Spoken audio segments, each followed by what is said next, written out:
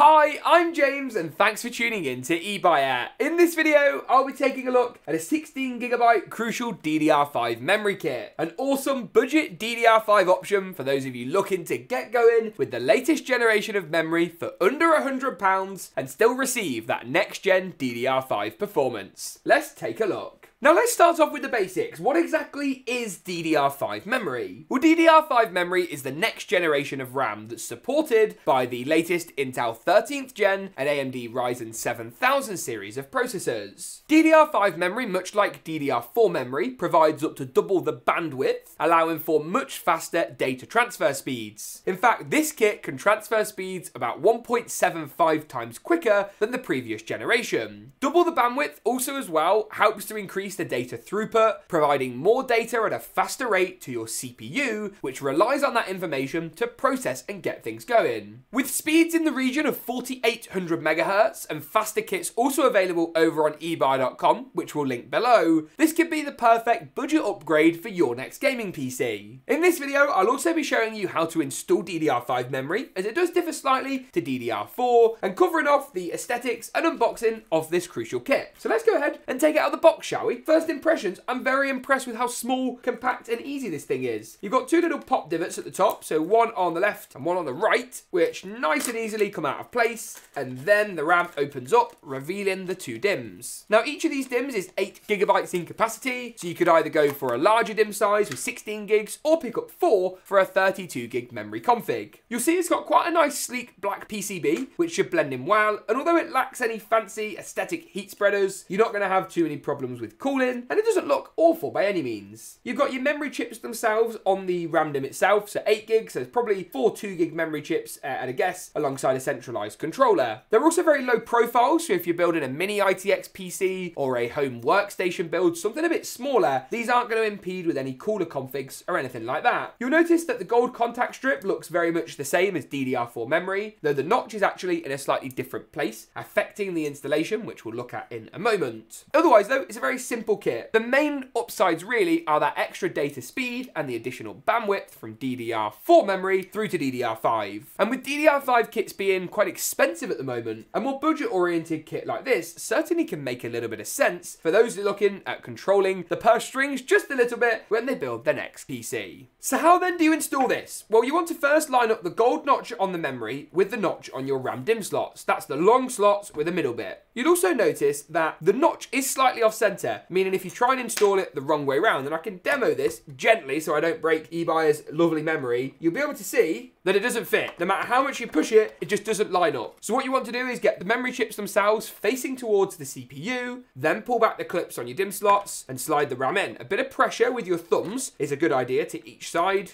and it will make a nice click sound. If the other one doesn't quite click in, give it a bit more of a push and that should do the job. Same as well with your second DIMM. Now if you've got two DIMMs, you'll want to use the second and fourth slots on the whole as a general rule. Four DIMMs, you'll fill all of them and if you've got one, you'll use the innermost or the second slot. But you can consult the manual of your motherboard or PC that you're upgrading when you do this. So you can see now the RAM's installed and you can give it a bit of a wobble. I wouldn't pull on it particularly. It's not going to support the weight of the motherboard. It's not designed to. Now, I do always get questions about what the difference is between RAM and SSDs. Now, they're both very fast storage mediums, but this is what you call volatile memory, while your SSD is called non-volatile. That means when you lose power, the data in your RAM goes, and the data in your SSD does not. So that's the difference. This is a lot quicker than an SSD, but obviously you've got a smaller capacity, allowing the CPU to access it more quickly. Fun fact is why the two are located so close together on a motherboard. It reduces the physical distance that the data has to travel, reducing the latency, the lag, and of course increasing those perceived transfer speeds. So then, that's some crucial memory. 8GB DIMMs, DDR5, 4800 MHz, providing support for Intel 12th and 13th gen and Ryzen 7000. You can learn more about this RAM kit and the full range of crucial memory kits over on ebuyer.com at the links below. Thank you very much for tuning into this video and to the eBuyer channel.